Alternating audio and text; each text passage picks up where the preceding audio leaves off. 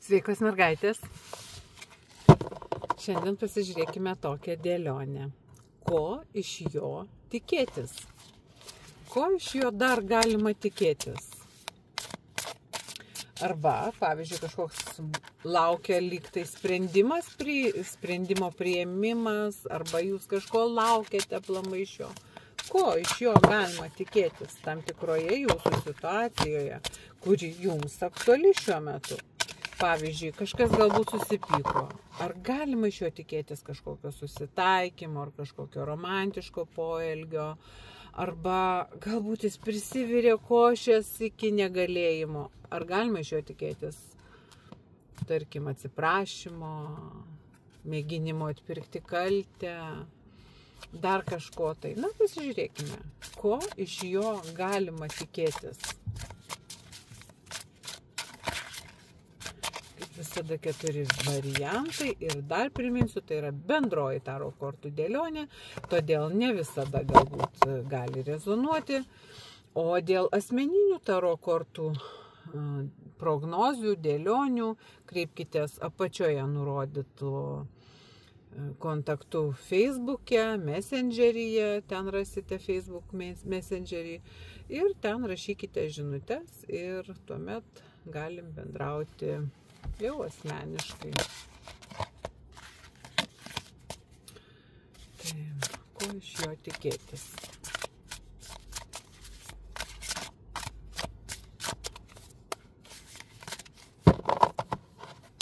Pirmas variantas.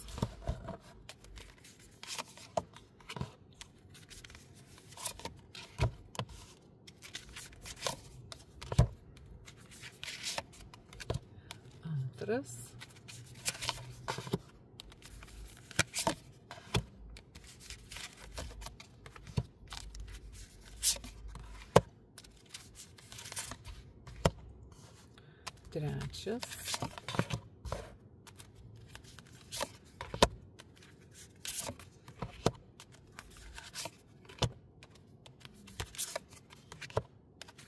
Ir ketvirtas.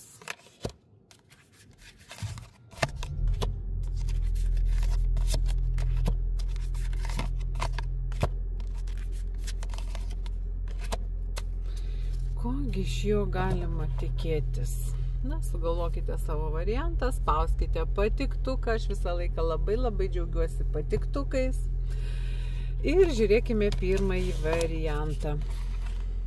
Lasdų pažas, nuosaikumas, fortūnos ratas, aštuoni kartai ir pakabintasis. Ah, tai taip vyriškai ir taip Ir taip įprasta, kaip ir visiems vyrams, lasdų pažas. Na, aišku, lasdų pažas tai kažkokią naujieną gali, iš, galite iš jo sužinoti, kažką jis gali tiesiog um, pareikšti, arba žinote, dar gali būti e, netgi nori pastovėti už savo tiesas, už savo kažkokią poziciją, nori save atstovėti, nori tarsi pasirodyti tokiu kilniu arba kažkokią naujieną tiesiog e, galite iš jo sužinoti ir mm, žinot, kadangi nuosaikumas dar kortą krenta, tai mm, toks e, dar galimas dalykas, truputėlį mėgint gali jisai ir prisiderinti, gali būti kažkokį tai mm, sprendimą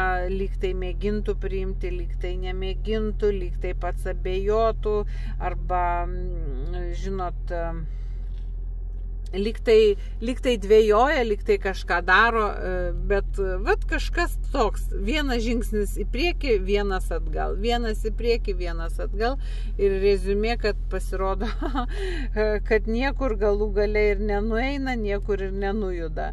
E, bet fortūnos ratas, tai žinot, jisai gali pasisukti bet kurią pusę iš tikrųjų. Ir tas fortūnos ratas dar nieko nereiškia, nes jisai gali rodyti, aišku, pirmiausia, tai fortūnos ratas suteikia tokią viltį, tarsi e, kažkokia galima, galima teigiama teigiamas kažkoks sprendimas, galbūt tai labai gera gali būti iš jo žinia jums, kurie atneš jums džiaugsmą ir jūs dar svarstysite, dar ar čia priimti ar nepriimti jo tą pasiūlymą, žinot.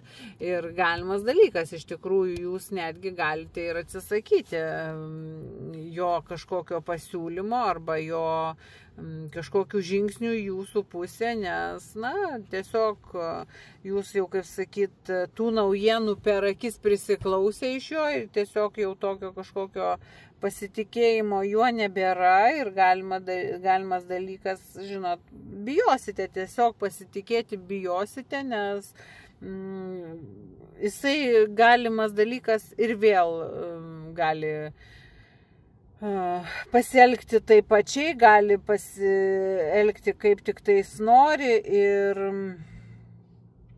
e, jūs labai stebina tas jo pasitikėjimas savimi. Vat fortūnos ratas ir aštuonių kardų korta e, rodo tokį ypatingą jo pasitikėjimą savimi.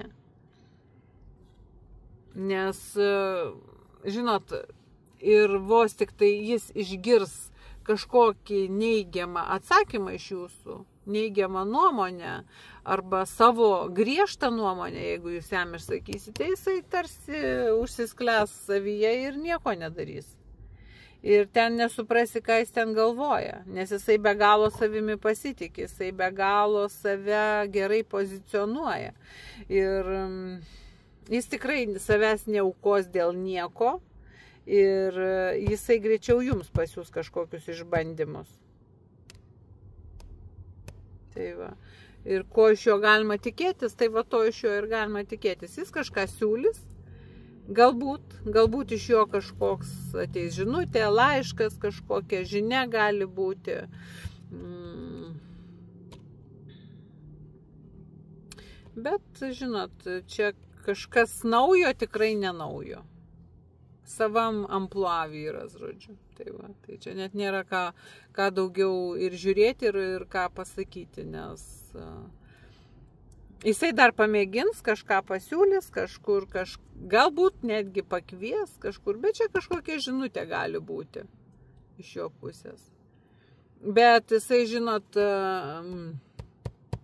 tikrai nedaužys galvos į sieną, kad, kaip pasakyti, darytų prieš savo valią. Jisai labai be galo pasitikė savimi, jis save pozicionuoja labai aukštai, jisai prieš save pats, prieš save pačiose aukščiausiose pozicijose ir jam jo nuomonė yra svarbiausia. Ir kai tik pamatys, kad jūs e, nesutinkat su jo nuomonė, jis e, pasirinks nieko neveikti. Ir vėl tas pats grįž prie to pačio ir, ir jokio teisingumo čia, kaip sakyti, jokio nuosaikumo. Jis nori, žodžiu, jis, jis toksai žmogus, kuris nori, kad būtų pagal jį ir ne kitaip. Jeigu ne pagal jį, tai niekaip kitaip tuo metu. Oh, tokie tie vyrai. Gerai, antrasis variantas. Ko iš jo tikėtis? 10 lasdų, 10 kardų, 10 lasdų, 6 kardai, mėnulis, įsimylėjėlį ir šešios taurės. Ach, aš ir vėl kamerą užkliudau. Na, atrodo teisingai pavirčiau gerai. Užkliudau kamerą ir, ir iškrenta 10 lasdų. O dešimt lasdų, ai, kaip jam sunku, koks jam dabar sunkus periodas, kaip jisai kankinasi, koks jam čia, kokia jam didžiulė našta. Ir jisai visai kaip mėgina parodyti, kad jam tais, nu, žodžiu, galimas dalykas, kad jisai netgi eina, visiems guodžiasi, kaip čia jam sunku, kaip čia sudėtinga Mm, žodžiu, situaciją ir, ir mm, kaip, kaip jam sunku susitvarkyti su šita priespauda, kurios iš jūsų sulaukia. Galimas toks dalykas ir žinote, e, norėtų jisai pakeisti tą visą situaciją, norėtų kažką padaryti, bet žinot, galimas dalykas, labai galimas dalykas, kad jis uh, mėgina um, kažką tai planuoti, galbūt netgi jisai kelionę planuoja, galbūt jisai vienas, patiliukais nuo jūsų planuojasi kelionę, tiesiog pailsėjimui, tiesiog, kaip sakyt, pabėgimui nuo jūsų. Bet galimas dalykas, jis planuoja pasiūlyti ir jums kažkokį tai, kažkokį tai pakeitimą ir kažkokio požiūrio atradimą, naujo, teigiamo požiūrio atradimą. E, galimas dar dalykas, e, jis pats planuoja pakeisti gyvenamą vietą. Ir čia nežinia, ar čia su jumis, ar be jūsų bet jis labiau norėtų kartu. Bet kas yra labai glumina, tai šalia stovinti menulio korta. Tai vad menulio korta, e, čia galima šio tikėtis ir apgaulės. Jis gali, e, gali planuoti netgi kažkokį tai arba nuo jūsų pabėgimą ir šalia jūsų santykių turėti kitus santykius, galimas toks dalykas. Ir galimas melas ir visiškai netikėti pokyčiai galimi iš jo pusės.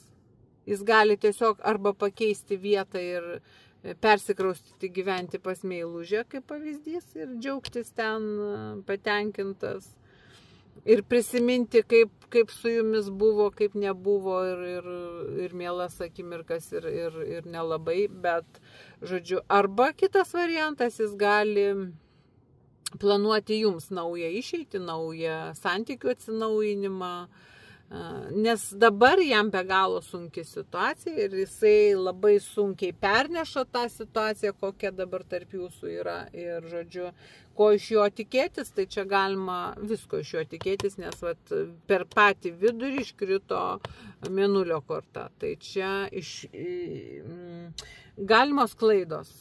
Galimos klaidos, netikėti pokyčiai, visiškai netikėti pokyčiai galimi. Ir e, gali būti netgi jo sprendimas e, gyventi su kažkuo kitu, su kažkokia kita moterimi. Galimas dalykas, jis turi meilužę ir jis planuoja savo, savo tolimesnį gyvenimą su kita moterimi. Jeigu čia kartais jūs esate ir su jumis jis norėtų tą gyvenimą pakeisti. Tada mm, su jumis jis planuoja atnaujinti santykius, atnaujinti meilę, atnaujinti jausmus, nes jisai prisimena, kaip jam buvo gerai. Bet kadangi tai vėlgi bendra dėlionė, tai galimi, kaip sakyt, keli tie scenarijai. Tai va, tai e, žinot, e, bet jam vis tiek širdyje toks prisiminimai yra praeities, praeities malonus prisiminimai su jumis, kažkokios, vad kaip būdavo, kaip jūs gyvenote, kaip jūs ar važiavote kažkur, ar ėjote, ar šeimininėse šventėse dalyvavote, jam tie prisiminimai labai suvirpina širdį. Bet čia, kaip sakiau, mėnulis krenta, taip kad uh, iš jo galima tikėtis absoliutiškai bet kokios apgaulės, bet ko, be kokio egoizmo, veidmainiavimo ir netgi sukčiavimo paslėpto. Nes matot, jis tarsi atsisukęs į tą menulį patiliukais, tarsi paslapčia, nori įlipti į tą vonę, į tą bliūdą, kuriuo ir keliaus per visą okeaną. tai va, tai su antroji variantu atsargiai, nes jisai ten gali reksti labai nemalonių planų. Gerai, trečiasis variantas, kokį iš jo galima tikėtis. Taurių riteris, trys kardai, septynio, septyni kardai, penki pentakliai ir bokštas. Na, čia visiškai viskas aišku. Iš jo galima tikėtis neištikimybės ir artimiausių metų greičiausiai tai įvyks, jeigu tai dar neįvyko. Nes jisai planuoja, planuoja santykius, planuoja kažkur tai meilės nuotykius, planuoja Gal netgi pasipiršimą planuoja, galbūt e, planuoja visiškai meilės nuotikius ir jūs liksite su sudaužyta širdimi, išduota, įskaudinta ir, žodžiu, labai tokioj nemalonioj pozicijoje.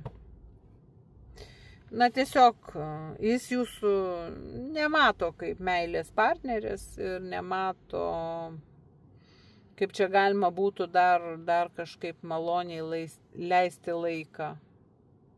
Ir žinot, na tiesiog liksite sudaužytą širdimi ir, ir tas, jis viską ignoruoja. Jis visai nebijo, jam visai vienodai, kokie bus padariniai jo poelgio. Jam visiškai nusispjaut. Jisai, matot, jisai netgi eina ten, kur geriau, ten, kur šilčiau, kur švariau, kur turtingiau, kur skaniau, kur gausiau, kur, kur maloniau, dar kažkaip visai. Ir žinot, to, su tokiu žmogum per gyvenimą neįmanoma eiti. Suprantu, kad čia labai nemaloni pozicija atsiskleidė, kad galbūt jūs neįtarėt, o galbūt ir įtarėt, galbūt jautėt.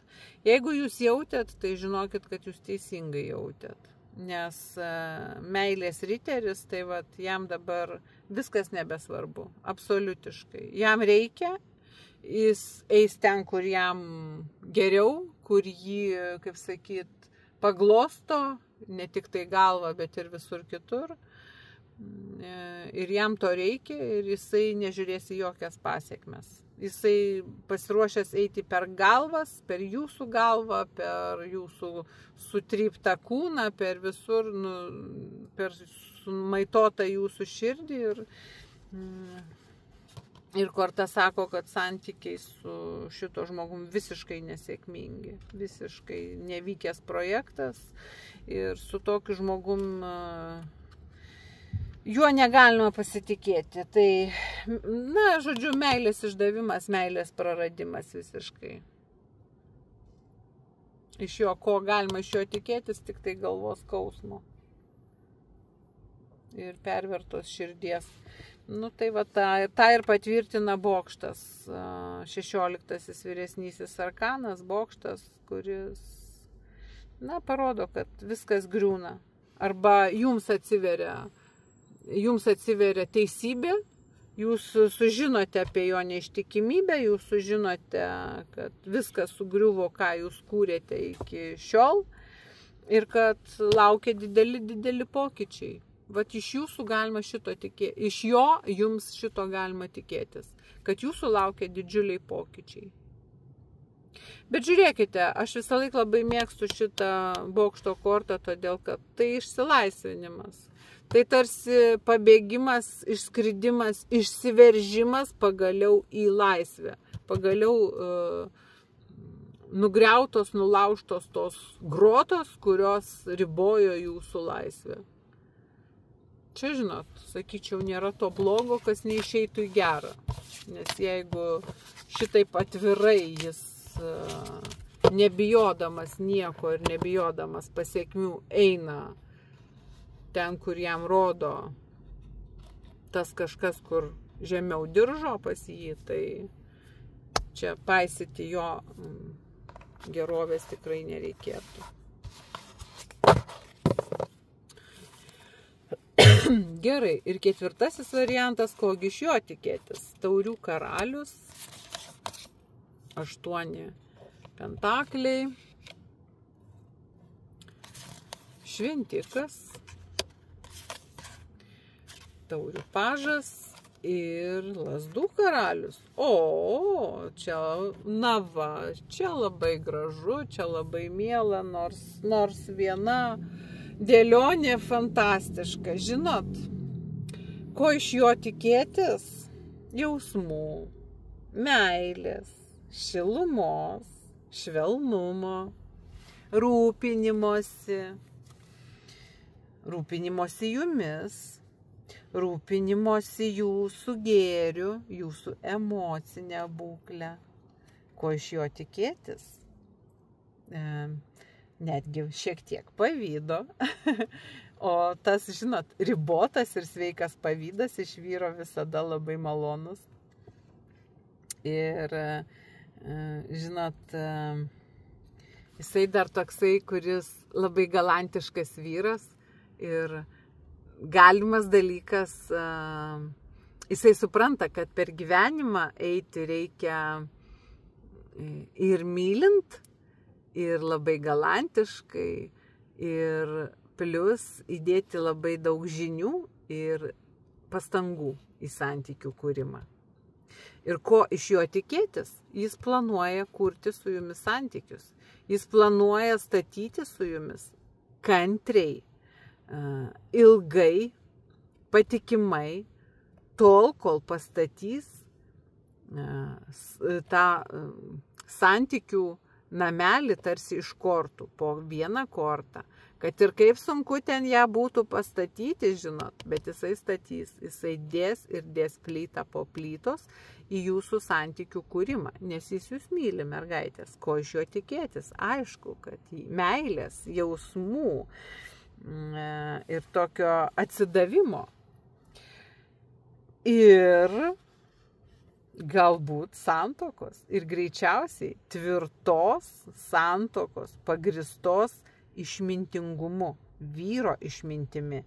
Tai taip nerealiai gerai, nes išmintimi pagrista santoka su vyro teisingų požiūrių į santykius, į santykių kūrimą, į santykių statymą, pastatymą, tai yra fantastiška.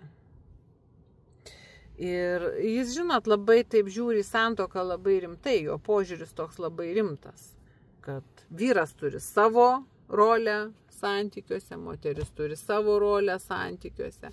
Ir visada reikia, reikia mm, paisyti tų visuotinai priimtų normų santykiuose. Ir, ir žinot, ko iš jo tikėtis, geros naujienos pirmiausia iš jo tikėtis nes galimas dalykas pasipirš, pasipirš. Tai va, tai geros naujienos, kažkokios naujienos, žinios geros iš jo tikėtis ir tikėtis galbūt tokių na, rimtesnių kažkokių dalykų. Jisai e, garbingų iš jo dalyko. Jisai patikimas žmogus, jisai galbūt netgi dovana jums kažkokią ruošia žmogus. Ir jis rūpinsis jumis. Ir su juo bus laiminga sąjunga, san, santoka su juo laiminga. Tai čia fantastiška. Jis jūs mylės ir iš jo meilės tikėtis, aistros tikėtis meilės ir laimingos santokos su tokiu žmogum tikėtis. Fantastiškas ketvirtas variantas, mergaitės. Protingas, aistringas ir mylintis. Na, kogi dar reikia moteriams? Dėmesio, meilės, švelnumo, rūpinimosi. Ir už vyro kaip už mūro. Tai to ir linkiu jums. Sėkmės iki.